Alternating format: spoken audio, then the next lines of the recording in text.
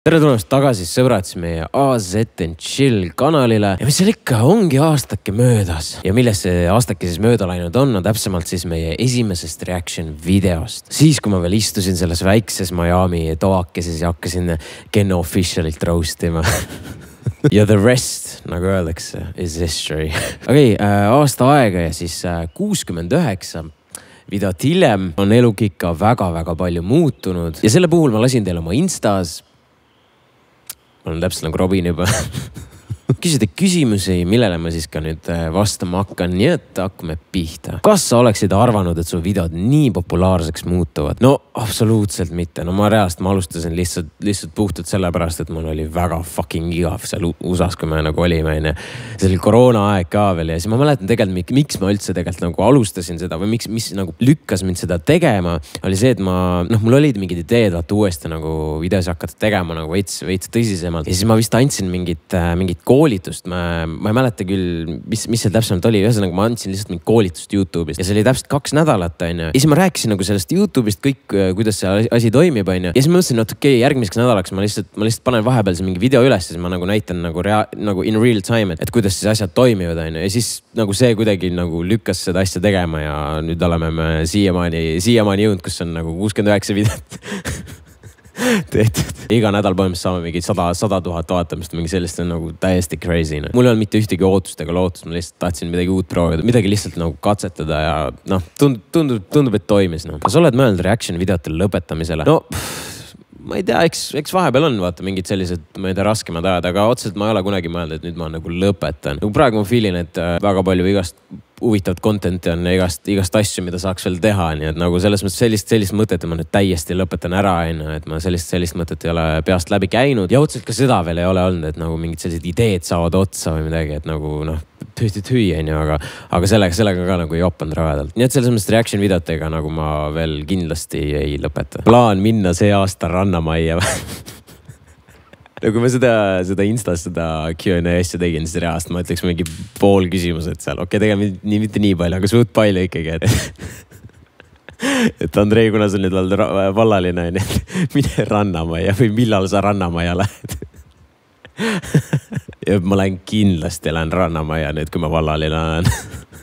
Kui suur on tõenäosus, et minuga date'ile tuled? no teate, nüüd ma nagu ka ikkagi imestasin nagu pärast, pärast seda lahkuminekut ka, et kuidas kui toorelt ikkagi slaiditakse nagu nagu mul täpselt Robiniga siin ka samamoodi, Robin on ka ikkagi vallaline poiss nagu mina onju, siis me oleme vallaliste klubis nüüd onju. et ikkagi, kui toorelt ikka mõned, mõned äh, tüdrukud äh, peale lendavad noh. ja sa oledki mingi hetk nagu vau wow,, et nagu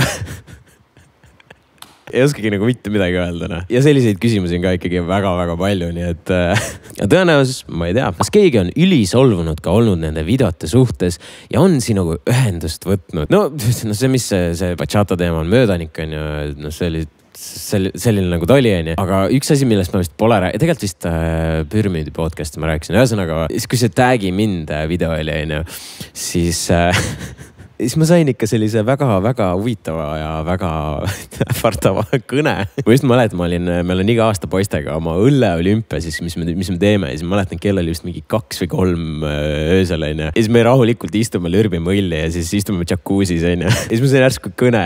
ja siis ühesõnaga, et oligi, et mingi, et sa oled Andrei või? ma ütlesin, jaa, olen küll jah äh,. kuule, et päris, äh, päris julgelt äh, võtsid sõna seal selles videos, et mingi okei okay., ja siis ta küsis mult, et kus sa oled, et Tallinnas või? et äh, võiks nagu kokku saada, et, et, et räägime veits, mul on sulle üks, üks pakkumine siis ma olin mingi tüüd, millega sa tegeled reaalselt ja poisid tegid minu arust samal ajal pilti ka veel, kui ma, kui ma seal kõne otsas olema, kui ma leian, ma jätan selle siia, onju.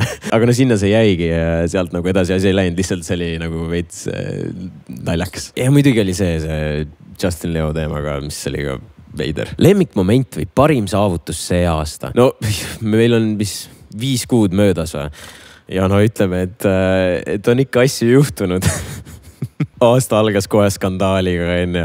Eesti Laul, Eesti Laulu viies koht, koroonaorgia, lahkumine ja siis nüüd siin hakatakse iga naisega mind paari panema onju. samas on ka mõnus puhkus praegu, nii et selles mõttes selle, selle, selle viie kuuga on tegelikult päris palju juba, juba toimunud, aga, aga selles suhtes ma arvan ikkagi minu, minu lemmikmoment, need kõik need skandaalid, see on nagu noh, see ei saa, see ei saa lemmik olla, kuigi noh, sa ikkagi õpid päris palju sellest onju, aga lemmikmoment kindlasti ikkagi nagu see Eesti Laulu viies koht, millest jäi meile fucking kakskümmend kolm punkti või no kakskümmend kolm häält puudu sellest superfinaalist, no nagu ma, ma seal juba seal live stream'i ajal nagu huugasin rõvedalt ja karjusin ja te, te lihtsalt, ma arvan, te ei tahaks teada, mis oleks saama hakanud, kui ma oleks reaalselt top kolmes olnud, ma jah, aga ei, selles mõttes ma arvan, see, see oli selline ja uhke, uhke tunne, et me üldse, et me üldse nii kaugele jõudsime. muidugi see, et nagu Sissiga laul jäi teisele kohale, et see oli ka selline väärt tunnustus. kas teete ka Robiniga enda Rajureede saate? ma ei tea, kas me päris Rajureede saadet teeme, aga meil siin siin Hiiumaal olles on ju, tegelikult ma kõik teavad, kus ma olen juba. aga, aga, aga meil siin väike ideekene tekkis, mida võiks võib-olla siin tulevikus natuke suuremalt arendada, nii et eks näeme, mis sellest saab. kuidas sind ära võrgutada, no see on vist seesamane tüdruk, kes Twitteris ka küsis vist, no põhimõtteliselt analoogne küsimus oli. Ja siis mäletad, seal oli vist päris hea vastus, et lihtsalt ole minust lühem mis on, mis on päris aus. lihtsalt ole minust lühem ja sa, sa juba võrgutasid mind aga ei, nagu sellist asja nagu mingi võrgutamist nagu sellist ei ole, nagu ma, minu jaoks on lihtsalt tähtis vibe. kui vibe'id, siis vibe'id, kui vibe'i ei vibe'i no.. kas, kas järgmine aasta uuesti Eesti Laulule, no vaata, minuga on see teema, et nagu enne, enne kui me võitu ei saa, siis ma alla ei anna aga selles suhtes see kolmas aasta, mis nüüd oli praegu järjest, no see oli juba, juba oli päris väsitav nagu. aga samas oli jällegi põnev, sest et, et ma ikkagi läksin nagu artist sinna, et see oli jällegi minu jaoks nagu uus kogemus onju. aga ma arvan ja, et enne, enne kui ma seda võitu kätte ei saa, no ma, ma lihtsalt, ma lihtsalt ei anna alla noh ja lihtsalt mõelda, et see võit oli nii lähedal ka veel noh. kuidas sul läheb vallaline ja reisu peal? no kõik, kõik, mis sa just ütlesid, need on, need on faktid jah. aga, aga praegu ma tõestan, ma nagu siin elu, elu kakskümmend neli nagu need detektiivid on, on ju, siis nad ikkagi võlusid välja, et ma olen siin Dominikaani vabariigis, mis on siis naljakas mõelda, on bachata sünniriik on ju siis ma olen siin bachata sünniriigis on ju. ja reisi osas on nii palju, et võib-olla saate siin väikse üllatuse ka kõikidele kanali OG-tele, et siis tuletate vanu häid aegu meelde on ju varsti. aga ei, üldiselt läheb väga hästi ma olen kenasti välja puhanud, mul on sihuke rutiin praegu sees, et nad ise ka ei usu, onju. kogu aeg me ikkagi siin midagi teeme ja käime ringi ja ma ei tea, kui, kui, kui ei tee, siis lihtsalt ma ei tea, päevitame passu ära ja lihtsalt chill ime. et, et kõik on väga mõnus ja kõik see, mis seal vahepeal Eestis toimus, et sellest oli nagu hea selline väike escape on ju. nii et selles suhtes läheb ikkagi väga hästi. kust said piiro ja särgi, no seda, seda küsimust ma ootasin, vaadake lihtsalt mind, ma olen Dominikaani Vabariigis ja mul on Eesti koondise särk, selle ma käin sellega igal pool lihtsalt ja kusjuures fun fact on see, et see oli põhimõtteliselt tema viimasest äh, siis vist mängust, mis ta tegi Islandi vastu oli. seal oli mingi võistlus, ma mäletan, mingi põhimõtteliselt pidid pilte mingi autoga tegema ja siis ühesõnaga ma tegin ja, ja siis mind valiti selleks võitjaks, meid viidi kodust siis äh,, siis Tallinnasse seda Islandi mängu vaatama ja siis viidi tagasi ka veel ja siis ma sain selle särgi ka, mis on taga on siis, ma ei viitsi praegu keerata, aga ühesõnaga taga on siis veel Piiru ja autogrammiga särk, nii et, et selline väike fun lugu sellega no.. suurim raskus, ebaõnnestumine, mis React videote filmimisel ette tuli. no ega mul väga palju neid raskusi ega midagi ei ole olnud, aga tegelikult kusjuures selle, mis mul meelde tuleb, oli see, kui me tegime Seidiga seda viimast Rajureede episoodi siis esimesel hooajal. Seidi nagu ma ütlesin, davai, Seidi tule laivi onju, et äh, teeme ära. ta ütles davai, siis tuleb kohale ja siis põhimõtteliselt nagu ma nagu hakkan seda videot otsima onju, siis äh, seda, see oli siis Rajureede esimene episood onju. siis ma hakkasin seda videot otsima, panen TV3 Playst peale. ei tööta, lähen Go3-e ei tööta, lihtsalt no, lihtsalt proovisin, ma tegin, ma tegin kõike, ma tegin netile resa, ma tegin arvutile resa, onju.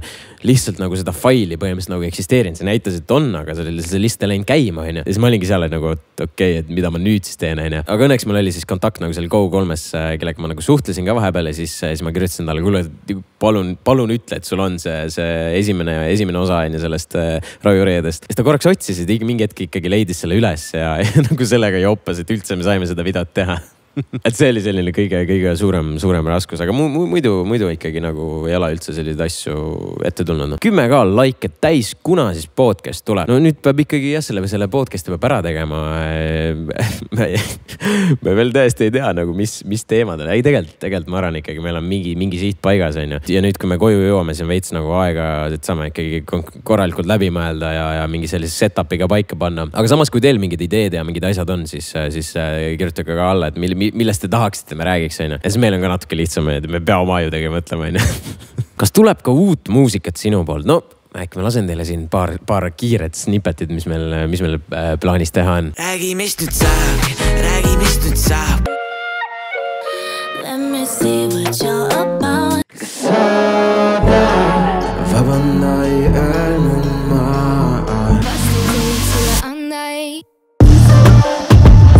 mis on Andrei morning routine, nagu ma ütlesin, siis äh, siin on mul äh, räme morning routine kujunenud, sest ma põhimõtteliselt lähen magama kell kümme, äh, ärkan kuus kolmkümmend või seitse või noh, selle vahel on ju. ja siis ma tõusen püsti, veits sirutan, mediteerin lausa on ju, väga mõnus on pall, mida all mediteerida peaks mainima. Ja siis me siin suht igapäevaselt ikkagi käime jooksmas või teeme lihtsalt sellise mingi high intensity mingi training'u ja siis põhimõtteliselt see morning routine lõpeb söögiga, ma arvan. sul on üpris vähe reklaami ja koostöid meedias, miks? no ma arvan, seal on mitu põhjust, sest et äh, no ma üldiselt ikkagi ei ole selline, et kes nagu noh, nagu mõned, ma ei tea, Instas teevad, sul on iga teine, mitte isegi iga teine, aga iga postitus on sul nagu reklaam. ja nagu mina, mina ei, ma ei, ma lihtsalt ei suuda, ma ei, ma ei, ma ei, ma ei tunne, et ma oleks selline sell-out on ju. ja teiseks nagu ma mingil määral veits ikkagi valin, ma ei tea, kellega ma koostööd tahaksin teha, mingi, kas ma teen koostööd nendega, kelle, kelle tooteid ma nagu actually kasutan või siis kelle tooted mulle päriselt meeldivad meeldivad. Ja nagu see on põhjus. ja teiseks nagu ma, mulle see nagu insta promotion nagu üldse ei meeldi, ma, ma, ma, ma, ma ei,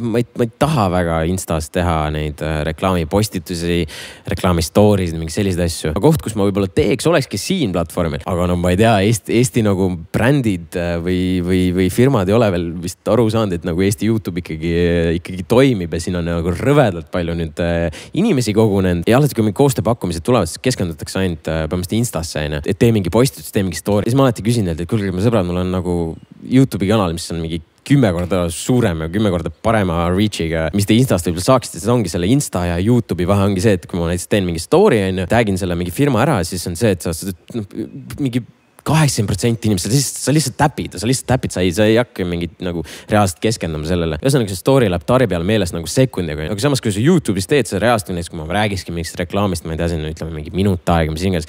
nagu inimene tahab ikkagi videot vaadata, ta kuulab selle läbi, ehk siis nagu see Youtube'i see nagu toimiks palju paremini, aga ma ei tea, ju siis ei ole veel nagu see reklaami teema nii kaugele jõudnud, et nad võiksid Eesti Youtube'is mingit reklaami teha, aga nüüd siis te vähemalt teate, et kui te mulle mingeid pakkumisi teete, siis äh, arvestage ikkagi Youtube'i Youtube'iga onju. milliste Youtube irite kuulsustega veel plaanis videoid teha? ma mõtlen, et äkki päris äge oleks teha näiteks mingi OnlyFansi video, kas mingi Soola Soolaga või või Epp Kärrisiniga ja ma ei tea, kes veel sobiksid äh, reaction videotesse, ma arvan, ma arvan, Hari-Matt oleks päris naljakas. ma ei tea, kes nagu, kes nagu veel sobida võiks, andke, andke mulle, kommenteerige alla või saatke mulle DM-id, kelle, kellega võiks veel nagu neid äh, reaction videosid teha, sest praegu ma olengi võib-olla seda rohkem katsetanud, mis, mis siis saab, kui on nagu kaks inimest videos on ju, et, et ma olen teil Robini toonud, tegime Aadaga just video, et see nagu mõndasid asju nagu ägedam vaadata, kui on kaks inimest, saadki nagu arutada on ju, et, et ei ole see, et ma lihtsalt üksi seletan siin ja mingi ahaa on ju, et vahepeal just see arutlemismoment on nagu ka, mis,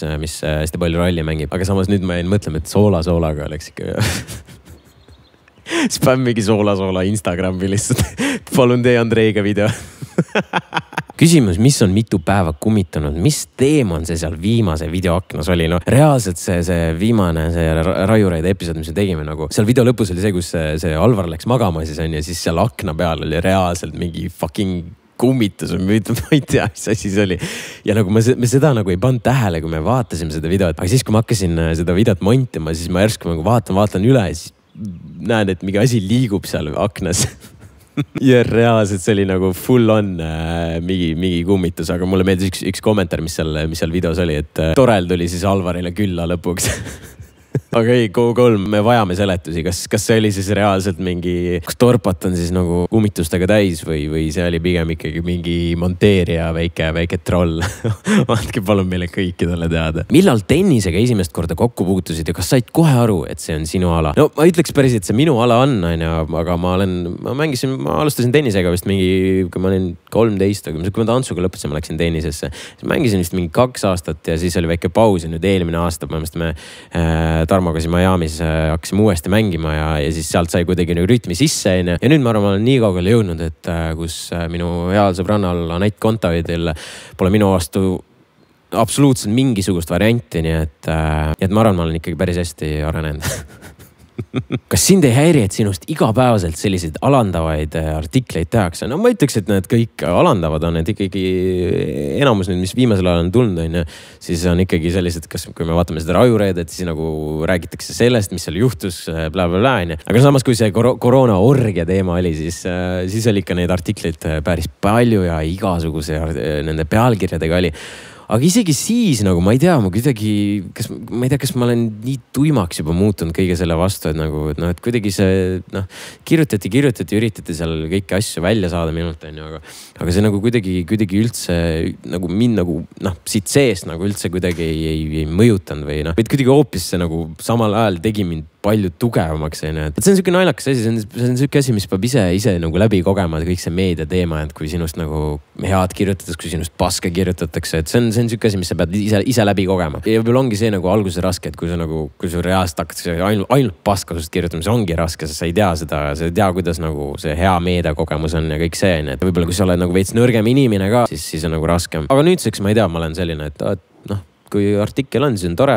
Äh, meedia ikkagi aitab iga asjaga kaasa, on ju, selles suhtes, eriti Eestis. aga nagu, et ma ei tea, ma hakkan seal kassima või mingi, pigem, pigem ma naeran nüüd viimaste uudistele sest need, need, mis seal hakati mind paari panema, see oli, see oli tõesti naljakas siin terve, terve satsiga olime lihtsalt kõverad, kui need uudised olid, noh mis on olnud kõige õpetlikum viimase aasta jooksul? ma arvan, ma ei tea, vali neid inimesi, inimesi, kellega, kellega sa siis äh,, ma ei tea, suhtled, oled äh,, igapäevaselt aega veedad veedad, ära räägi asjadest, millest sul pole õrna aimugi. Ja võib-olla mitte võtta kõiki asju nagu nii südamesse, lihtsalt nagu rohkem naerda enda üle, naerda veits elu üle ja siis on siis on kõik asjad palju lõbusamad nagu. no ma arvan, selliste väikeste õpetlike sõnadega me võime siit, siitkohalt äh, otsad kokku tõmmata. Äh, mis ma ikka, mis ma ikka teile ütlen, äh, väga tore aasta on olnud, väga palju on ikkagi minu elus muutunud ja ma loodan teie elus ka onju, et ikkagi meil on siin kõikidel rasked ajad olnud ja midagi, midagi vähem, ma loodan, ma olen nagu teile sellist mõnusat entertainment'it pakkunud. ja aitäh kõikidele, kes on nagu see, selle, selle teekonnaga nagu siis join inud ja, ja toetanud ja alati kirjutanud mulle midagi midagi, et see, et see on väga-väga ikkagi väga-väga tore ja ma loodan, et ikkagi asi, asi jätkub samamoodi edasi. nii et, aga ma loodan teile see video meeldis. jällegi Q&A on alati sellised pullid, peaks tegelikult rohkem neid tegema saabki rohkem veits arutada, teie küsimustele vastata. aga olge tublid ja näeme teiega juba järgmises videos. tšau, Baka.